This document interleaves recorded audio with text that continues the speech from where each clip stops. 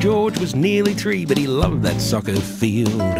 He'd run along the sideline while the big boys played for real. But that little guy had urges that he could not control, so he crossed the line with the wind behind and scored the winning goal. You might have bought your ticket, got the best seat in the ground, but it's much more fun to be the one who kicks the ball around.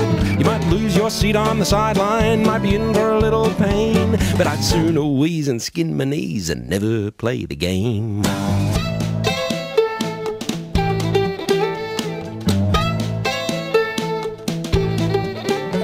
Well, Scotty Ken was a building man, but he dreams of driving trains. A love of coal and diesel was just chugging through his veins. So he sneaked aboard the driver's cab with a 3801. The whistle blew as off it flew, and Scotty had some fun.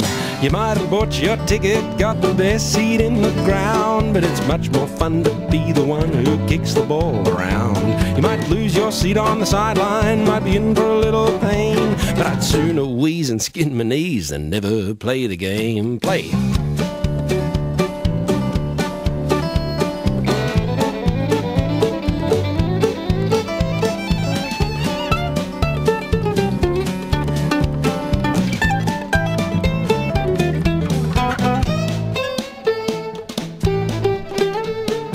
Emily Margaret took the plunge and the training wheels were gone.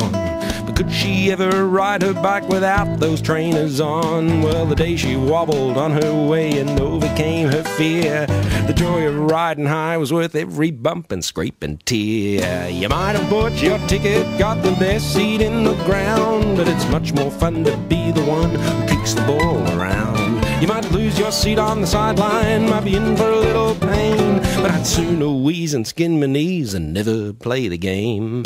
You might have bought your ticket, got the best seat in the ground, but it's much more fun to be the one to kick the ball around.